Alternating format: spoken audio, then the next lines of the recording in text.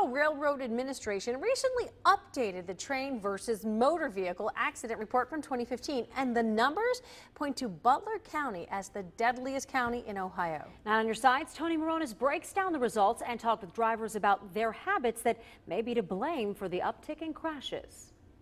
If there's no train, even if it's blinking red, I still go through it. And sometimes when they block the track, even though the rails are down or the little guard thing is down, I'll go through it anyway. Greer Barton of Pleasant Ridge understands it's attitudes like hers that could lead to devastating results. My friend called me. At railroad crossings, trains always win, and sometimes life lost. The driver had gone through the down gate. That's what happened last year when the driver of this church van carrying children for vacation Bible school, 10 kids were hurt and an adult passenger died. All the damage that you see to the van was from the van's own speed striking into the side of the train. Last month, I just kept sliding. Nothing I did would stop at the car, and I survived. I mean, it's amazing. 96% of all the deaths in the railroad industry are caused by grade crossing accidents and trespassing. That's a public service announcement created by Operation Lifesaver.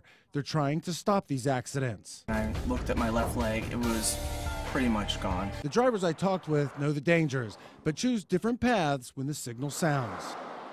I roll the dice because I can see the train. Yeah, you stop, especially when the arms are down. From the latest statistics, the last death in the tri state was from the church van in Butler County. Coincidentally, that's the deadliest county for cars versus train accident deaths in the state of Ohio and in the tri state. The federal stats also show that those who get injured the most are people who are impaired with drugs or alcohol.